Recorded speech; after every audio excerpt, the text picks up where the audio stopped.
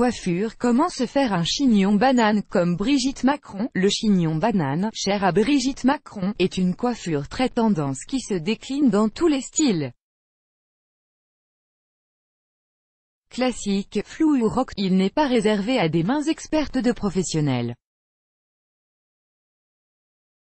Toutes les femmes sont capables de le faire. Découvrez les étapes indispensables pour réaliser ce chignon, longtemps considéré comme une coiffure de soirée, le chignon banane, chic et glamour s'est démocratisé tant il est porté au quotidien. Il est décliné de nombreuses façons et les stars en raffolent. Pour vous la jouer première dame, misez sur un chignon banane classique à la manière de Brigitte Macron. Classe et élégance assurée, d'autres célébrités comme Scarlett Johansson et Eva Mendes l'ont adopté. Pour une coiffure moins sage à la manière de Gwen Stefani ou Rihanna, optez pour le chignon banane flou. Il s'agit de laisser les cheveux à la base plus naturels et de ne pas les lisser. Vous faites les mêmes gestes et suivez les mêmes étapes que pour un chignon banane classique, mais vous laissez quelques mèches retomber autour du visage. Elles permettent d'adoucir les traits et cassent un peu l'effet strict du chignon. Pour donner un petit coup de pouce aux cheveux, vous pouvez appliquer un spray à l'eau de mer, idéal pour un rendu flou. Le chignon banane rock plaît également beaucoup. Réalisez un chignon banane classique puis concentrez-vous sur la mèche au-dessus de la tête. Pour un style rock crêpez les cheveux et donnez un maximum de volume. La petite astuce est d'enrouler ces mèches du dessus avec de gros rouleaux. Une fois qu'ils ont la bonne forme, vous finalisez votre coiffure. Que vous ayez les cheveux courts ou les cheveux longs, n'hésitez pas à réaliser un chignon banane. Il est très apprécié des femmes, car il met en valeur la silhouette et les jolies nuques. Mode d'emploi du chignon banane Rassurez-vous, le chignon banane est une coiffure très facile à réaliser.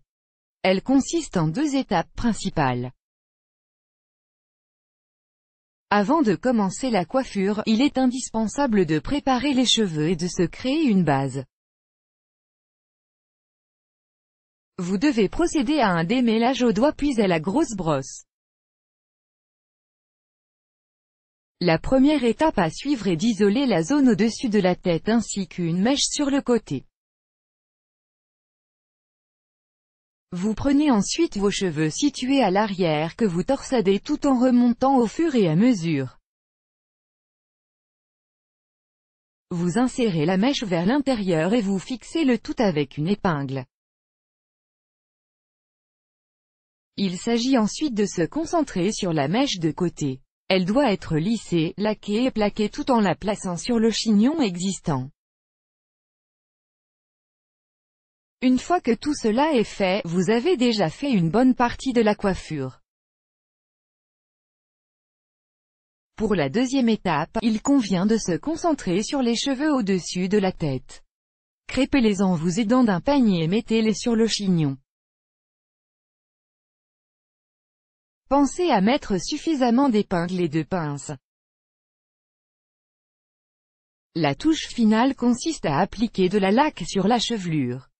Le chignon doit rester en place aussi longtemps que nécessaire. En plus de la laque, vous pouvez mettre un voile de sérum pour apporter de la brillance.